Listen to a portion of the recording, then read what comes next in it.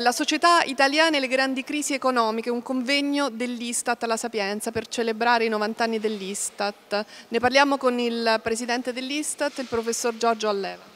Con il convegno che apriamo oggi eh, concludiamo eh, gli eventi scientifici organizzati in occasione della celebrazione dei nostri 90 anni. Eventi scientifici che ci hanno consentito di eh, fare una riflessione sulle trasformazioni del sistema produttivo e della società italiana negli ultimi decenni, con una lettura lunga che abbiamo fatto insieme ad esperti e studiosi nei vari campi in cui ci siamo addentrati. Eh, devo dire che eh, queste iniziative scientifiche sono state solo una parte del lavoro che abbiamo fatto, in particolare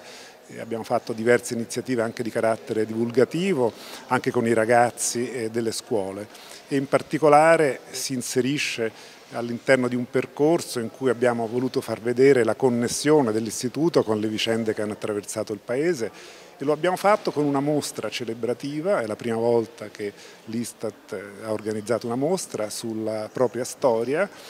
al Vittoriano di Roma che sarà aperta fino al prossimo 7 gennaio, in cui abbiamo voluto ripercorrere anche le innovazioni con cui l'Istat ha fatto il suo lavoro, portando volumi di pregio, macchinari dell'epoca e raccontando, come ho anche oggi introdotto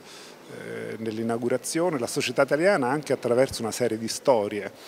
quelle delle persone che oggi compongono la società italiana e che appartengono a generazioni differenti.